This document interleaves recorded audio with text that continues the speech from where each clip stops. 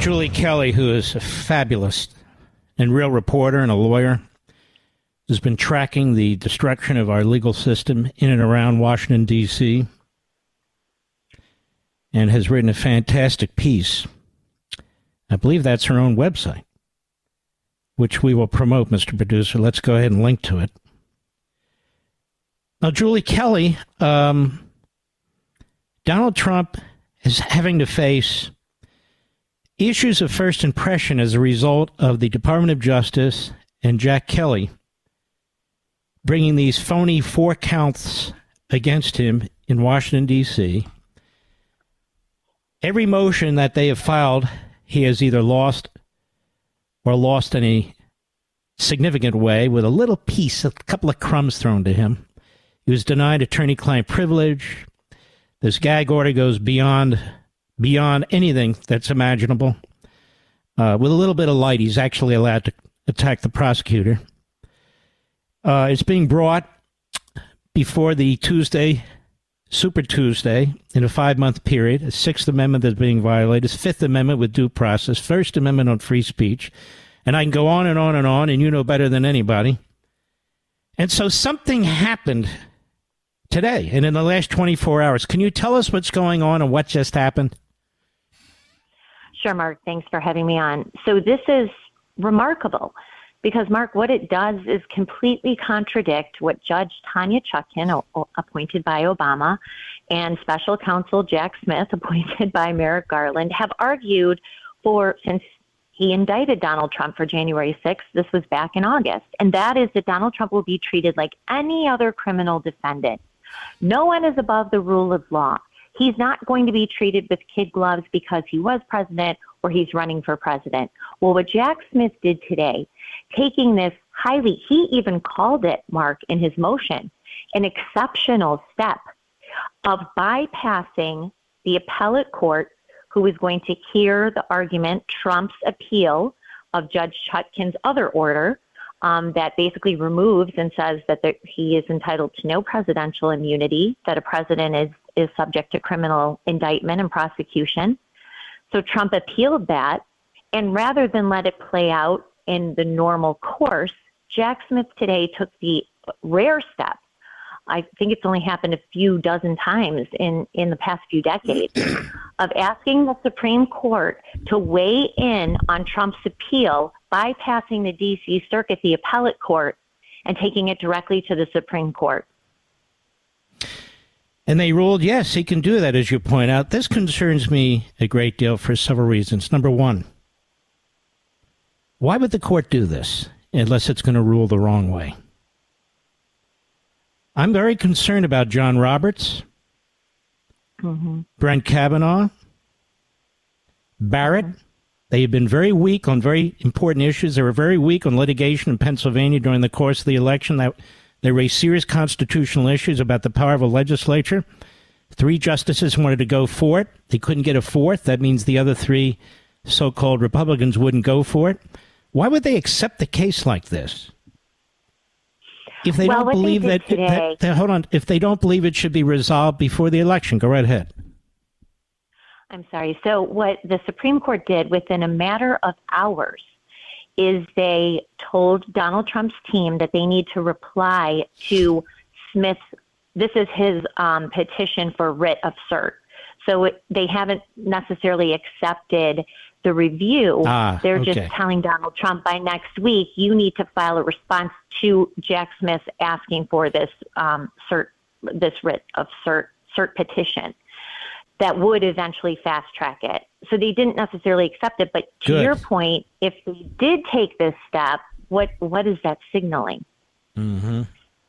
So that's an excellent point you make. So we don't know what they're going to do yet. I am surprised that they asked for response this quickly. Mm-hmm. But let's mm-hmm. talk about this issue immunity of a president. If a president has immunity as president from charges, even bogus charges, but let's just say whatever they are, charges. Then he ceases to be president. Most of the statute of limitations on so called crimes are five years. Not all, most. And so let's say he serves one term. Then the opposing party or the opposing administration, that is the president who defeats him, the attorney general he appoints, the special counsel that they appoint, appoint, can go back and look at the things he did as president. I'm talking about the precedent that this will set and make a decision on whether or not they should bootstrap it into a post presidency and then say, oh, well, you're not president anymore. You're not immune from it. Wouldn't that do severe, I mean, severe damage to the presidency? To the presidency, yes, and to the country as we continue this descent into banana republic style territory. This is where we're headed, and this has been the trajectory. And what Jack Smith just did today was act as an accelerant to where we're headed. And unfortunately, let's revisit again what the Supreme Court did. Why would they even consent to this this quickly? I agree. Why would they signal at all that they are going to uh, indulge Jack Smith and Judge Chutkan Because they are the ones, Mark, as we've talked about, they fast tracked the trial. Instead of the typical 14, 18, there's defendants who are still waiting to go to trial from January 6th. Some waited over two years between indictment and trial. She fast tracked this a seven month window, knowing all of this litigation would need to be resolved beforehand. They set this up to continue to heighten the destruction of the legal, judicial, and political system in this country before the election. These are sick, dangerous people. And today, once again, proved how dangerous Jack Smith is. And the fact that no one has reined him in, has cut his budget by a penny, speaks again to the weakness of Republican leadership in Washington. Certainly in the Senate, they won't agree to anything. I mean, Mitch McConnell backs anything pretty much that Schumer wants to do. Uh, mm-hmm. But this, this said, this is important. We really need to put a fine point on this. What is the hurry in getting this case to trial other than the Biden Department of Justice, Jack Smith's obsession, and Judge Chutkan's political bias? There's no emergency. There's not going to be any issues about um, any lapsing of statute. Uh, all the witnesses, such as they are, have already provided enormous amounts of information. Uh, these charges against Donald Trump, the Klan Act, the two Enron acts, as you've pointed out, which are being challenged by other defendants, and of course the Federal uh, Contractor Act, have absolutely nothing to do with January 6th. So he's trying to bootstrap that in. Judge Chutkan jumps the judge in Florida to get her case out before the other mm-hmm. case, which which Smith brought first. She calls the judge in New York and says, "Hey, you're supposed to go first. Can you wait till I'm done?" He says, "Of course." He's a Democrat hack. Attorney-client privilege is stripped from Trump. You go down the line, down, and this is what they're willing to consider. You're 100% right. They shouldn't even be asking Trump's lawyers for response by next week because that's a fast track.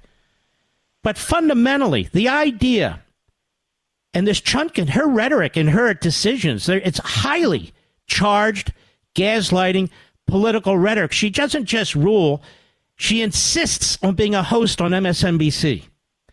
And by the way, Julie Kelly, what Jack Smith wrote, because I read it, was highly political, well overstated what, what we're talking about here.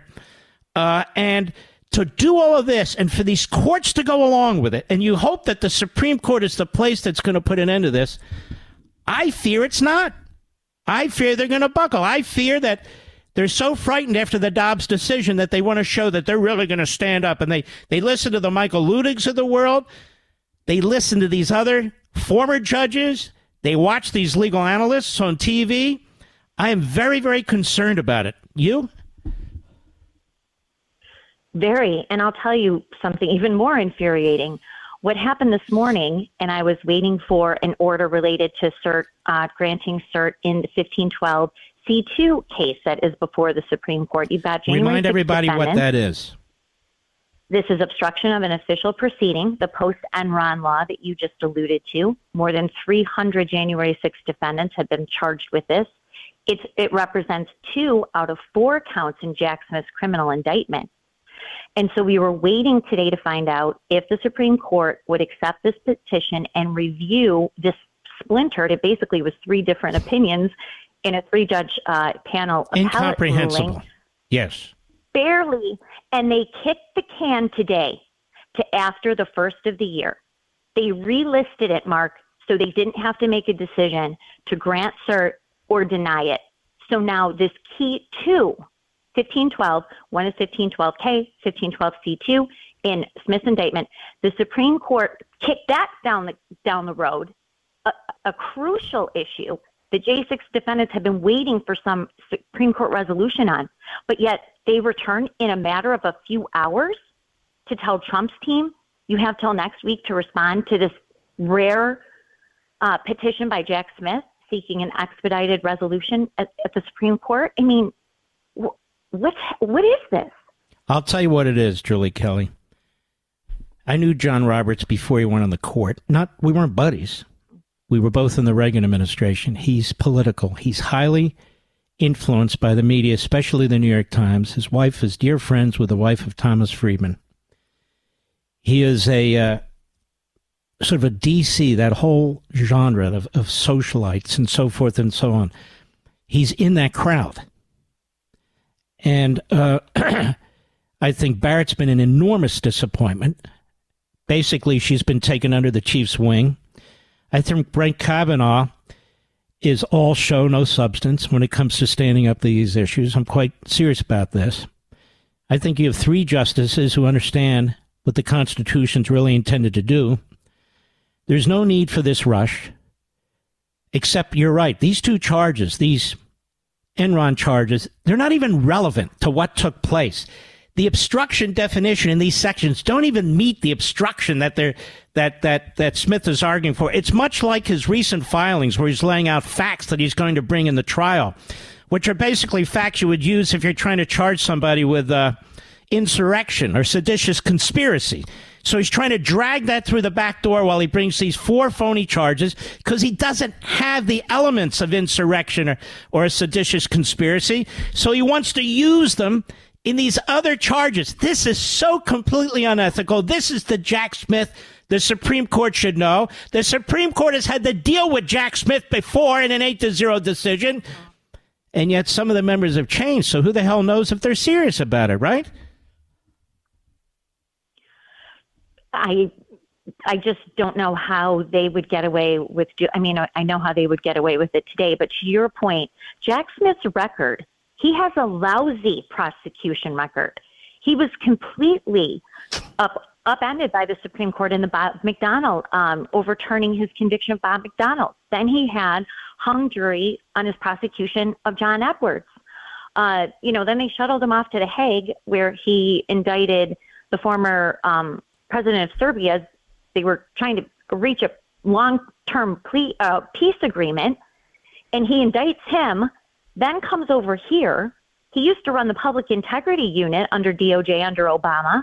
He let all the Biden crime family, it was happening right under his nose between 2010 and 2015.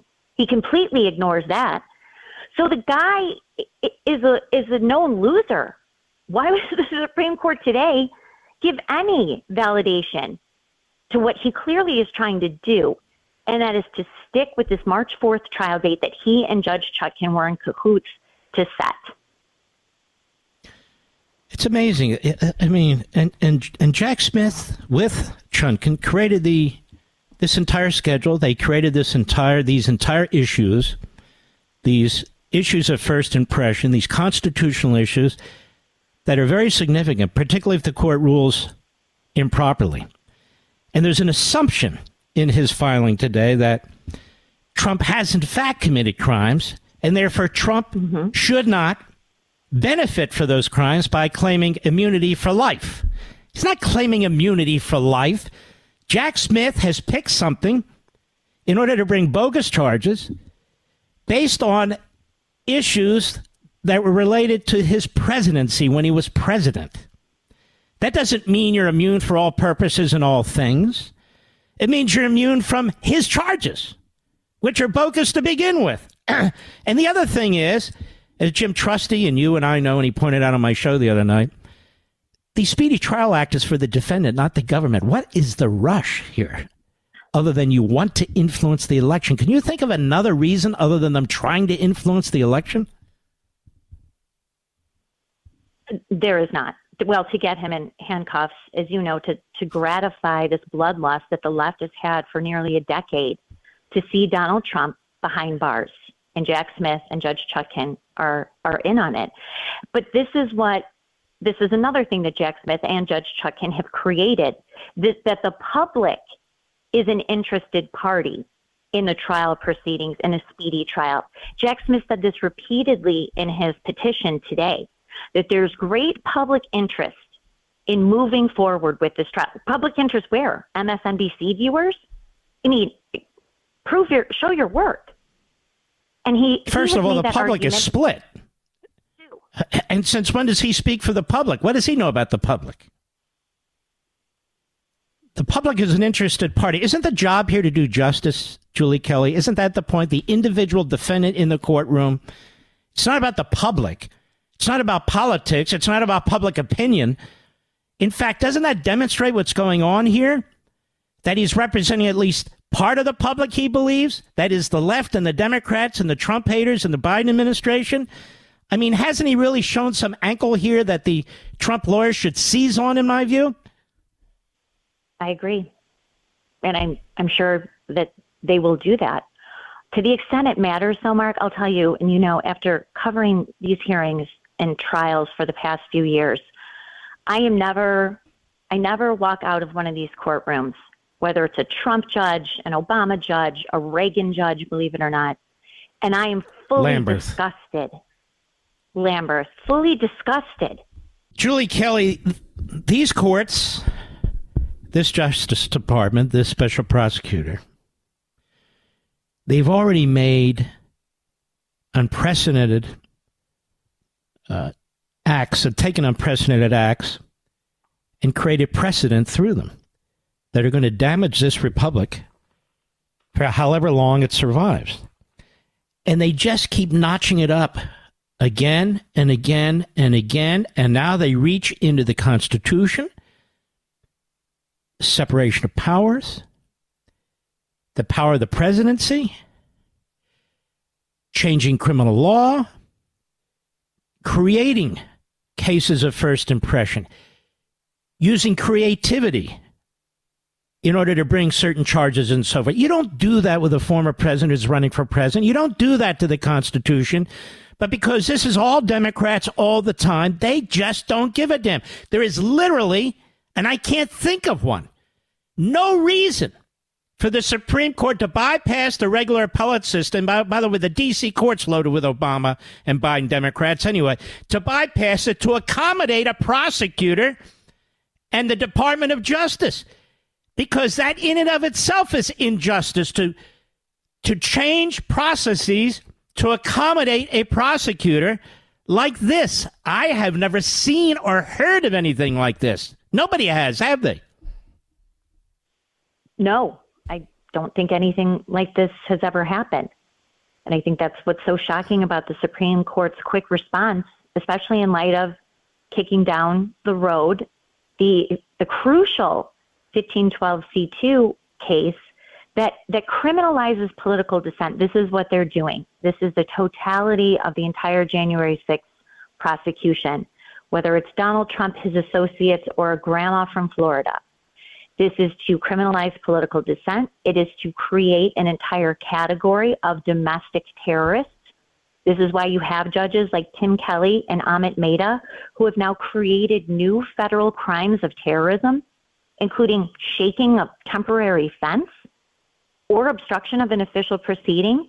They've now put their ju- judicial imprimatur on a list of domestic terror crimes that we never would have conceived would have happened, you know, after the first war on terror, now being aimed at Americans from the former president to presumptive presidential nominee to children as young as young adults 18 19 years old who have had their lives destroyed over this or 65 they just arrested a 65 year old woman from texas last week mark and charged her for january 6th this is a God. campaign of terror unleashed by this DOJ with Jack Smith now at the helm? You know, I wrote a book called Men in Black. It was my first book on the Supreme Court and its tyrannical decisions. And I would just say to the current Supreme Court justices, if any of them are listening, you are, are flirting with a legacy of certain past courts that have done enormous damage to this country, whether it's the Dred Scott decision, the Plessy versus Ferguson decision, the Korematsu decision, and other decisions. They involved race, of course, but they involved more than that. They involved unconstitutional acts. And the Supreme Court was on the wrong side of every one of those decisions. And I'm just saying now, for this court to refuse to take up this crucially important constitutional case that came out of Pennsylvania, which three of the justices wanted to, but they couldn't get a fourth. And this was an important case. It wasn't about ballots. It wasn't about voting machines. It was about who gets to make the law under the Constitution. They wouldn't take it because they didn't want to involve themselves in politics. And so now, you're right. Even by saying to the Trump lawyers, we need an immediate response next week, that means at least some of the justices may well want to hear this case. If not four of them, and that would tip the balance. And so they would be playing into these efforts of this administration trying to take on what might be a prior administration of interfering in election. The only reason to move this fast is to accommodate the prosecutor who does not believe in due process, who does not believe in free speech, and a judge, the most radical judge in the federal judiciary, who makes these outrageous statements from the bench and then refuses to recuse herself like she's God's gift and rules time and time again on motions for the government. And same with the prior judge, the motions judge, stripping Donald Trump of attorney client privilege. Is the Supreme Court really going to drag itself at the behest of a prosecutor to move fast to accommodate him? Do they understand that the American people, Julie Kelly, not just the radical left kooks, but that millions and millions of Americans who may not pay attention to the court will turn on them because they will recognize how political and expedient this is? Do they not recognize that, Julie Kelly? I have to assume that probably a majority of them do not. Or they don't care because they're insulated in this bubble of Washington, D.C., where they're all in cahoots, all of them. I really do fear I, I really do fear if they go down this road and allow this prosecutor to push them down this road, or actually follow them down the road, allow this radical judge to do the same, that, that they break precedent and take up this case. And if they rule in favor of the prosecution, this country, this country will never be the same. The court will never be the same. It'll have no respect from tens of millions of Americans. It's the justices in the courts that stand up to tyranny, that stand up to the government, that are remembered. That are remembered. It's not the New York Times or the Washington Post or somebody else that's going to determine the legacy of this court. The legacy of this court, I mean, just think about it, Julie Kelly. 30 years from now, a case is written about out of the Supreme Court where they but the prosecutor says, I'm going to jump the appellate court. And the court says, if they do, okay, we'll take it. The court says, we'll take it, and then upholds this decision by Judge Chutkan, which is just because you're a president doesn't mean these protections follow you. They will open the door to future presidents being charged with crimes once they leave office. That a future administration of the opposite party will sit there. They'll wait till that president leaves office. And then they'll charge him. And they're going to fall on that sword, Julie Kelly, particularly when you consider the four charges in this case having nothing to do. Jack Kelly argues insurrection. Jack Kelly argues argues about uh, these these cases, these matters, these charges he won't bring. Seditious conspiracy. But he argues seditious conspiracy without using the phrase. He argues insurrection without using the phrase. He accuses Donald Trump of creating a violence. He had to know, creating. he had to know that his actions, his statements would create violence. I mean, after all, we're taking texts off his phone and we're hearing all this other stuff. But he's not charged with anything creating violence. And the Supreme Court, as you point out, would it dare give its imprimatur to this? I fear, I worry that it's caught up in the politics of the moment, which is which is the politics pushed by the left through the media. I worry about it. Any final thoughts? No. I It's this is depressing. just one of those days, Mark. It, this is one of those days where you cover, and I woke up with some hope that they were going to accept this 1512 and then you end up with this and and it's hard to not believe that this is calculated and orchestrated it's hard to believe that the supreme court did not kick the 1512 issue down the road but that knew that this was coming and immediately picked this up in a You're political right. maneuver on both matters mark mm-hmm. on both matters that puts a pit in, in my stomach because the only hope these January 6 defendants have ever had is that when some of these appeals finally got to the Supreme Court, they would at least be given a fair hearing that they were denied in Washington, D.C. And this hurts me because I know how much it hurts these defendants who are waiting for some relief. And today just was a very disheartening indicator and the court said we have more important things to do and pushed it off. That's right. Oh, and by the way, one of those more important things we have to do is take up Jack Smith's ridiculous motion to jump over the circuit court, which we almost never do, and to rule in favor of what he's claiming, which is a former president has no immunity from his actions as president. He doesn't have any rights. He's committed these crimes as president, then he expects to get away with it. He didn't commit any crimes. He's not convicted of committing any crimes.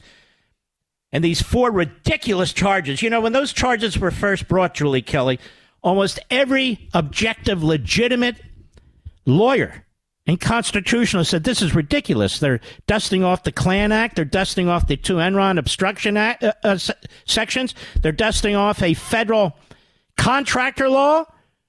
What the hell is that? And then he pours into this and he's made it clear to the whole world that he's going to convince this jury of Democrats.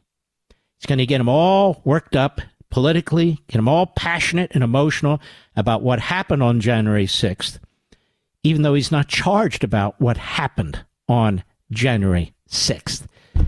This is about as sick as it gets. Julie Kelly, keep at it. If people want to read you and where do they go?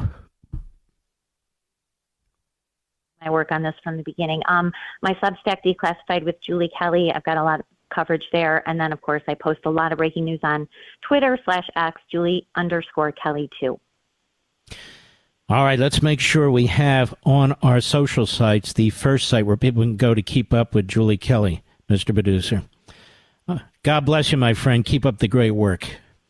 You too, Mark. Thanks so much.